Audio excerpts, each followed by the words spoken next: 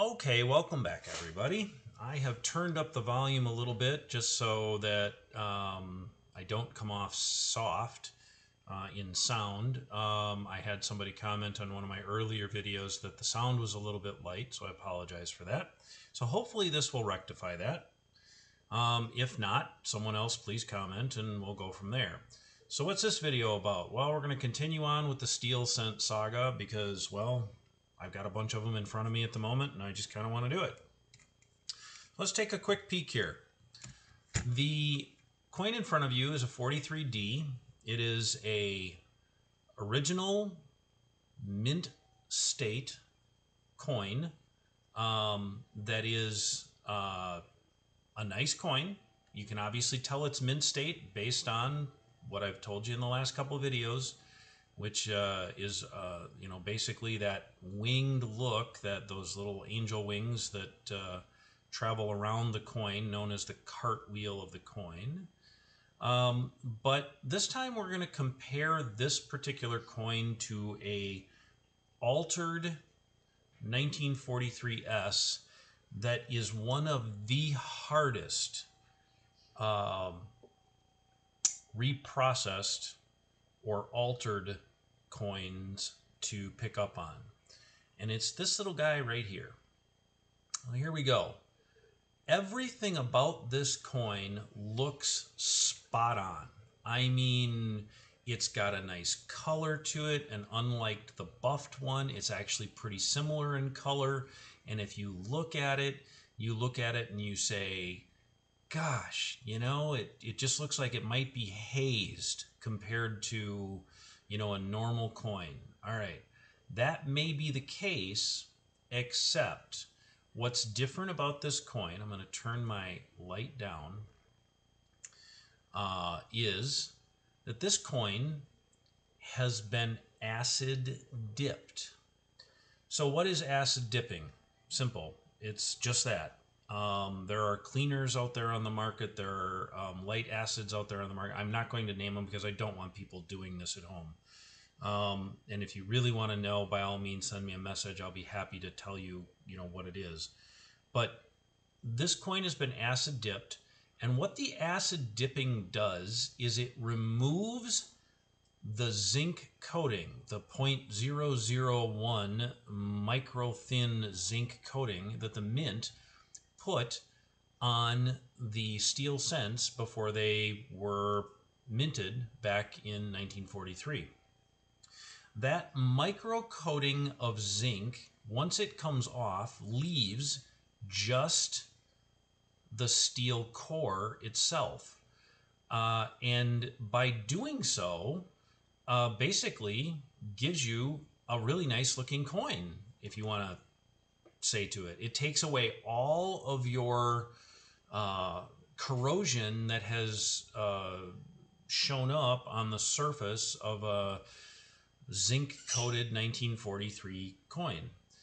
But it's missing something. It's missing a lot, actually. And and most people that have followed me have have heard me talk about this and and what to look for when you're looking for uh, steel cents. And this is by far and way, one of the easiest ways to spot this particular type of uh, reprocessing.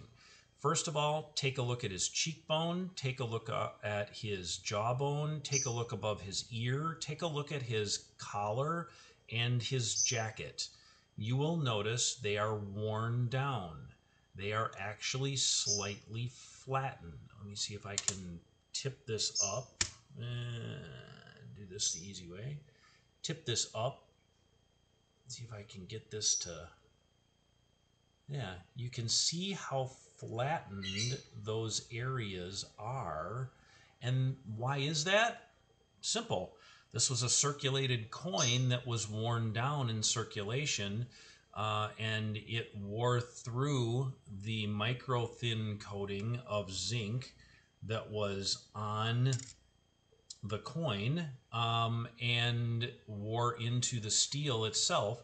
So when this particular coin had its coating removed, it's still worn down. it's just nice and shiny because all you're seeing is the steel that there is. Now, the other way to tell a uh, acid dipped coin from a regular nice steel coin is going to be that cartwheel. Okay, there's your cartwheel on that, right?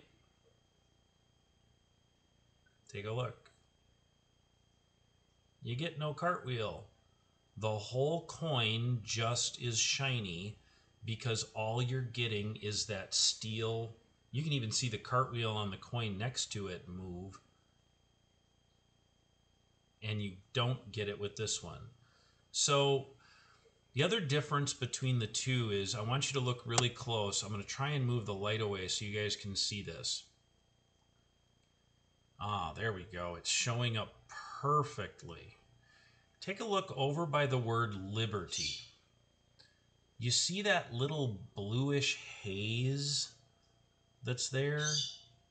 That bluish haze is chemical that is left over from the acid bath. And you tend to get that little haze on coins that have been acid dipped. And some people call it toning and say, oh, I've got a toned steel cent.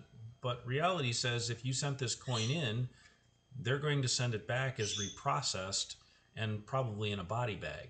You can also get a really good chance to see, if I block the light a little bit, all of those worn areas. Look at the tip.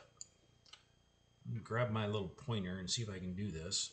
Look at the tip right here of his jacket.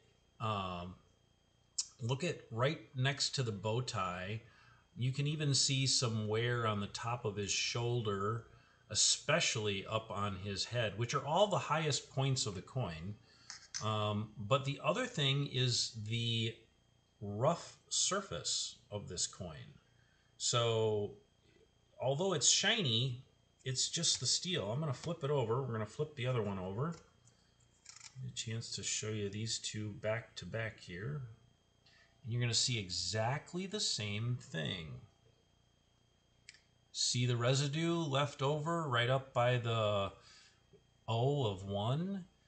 Um, it is what it is. It's just it's residue that's been left over. See the different type of surface to the coin.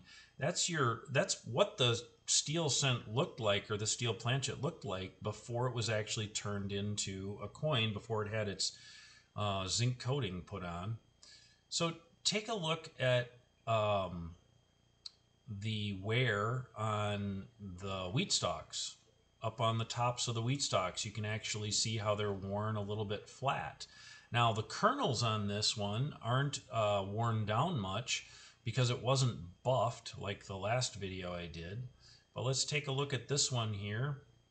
Get a chance to bring my light over. See your mint luster and your cartwheel to that coin. And this one, nothing. It's dead, basically.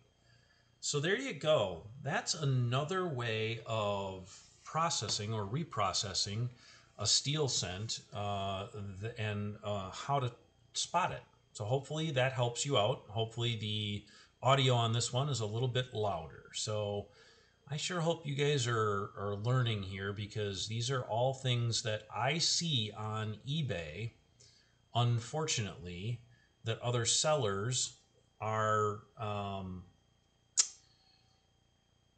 advertising and selling, uh, and probably without them even knowing it, would be my guess. So it may not necessarily be their fault. They just may not be smart enough to know the difference. Uh, so there you go. Good luck. Hopefully, if you have any questions, put them down in the comments below. I'll be glad to try and answer what I can. Thanks. Have a great night.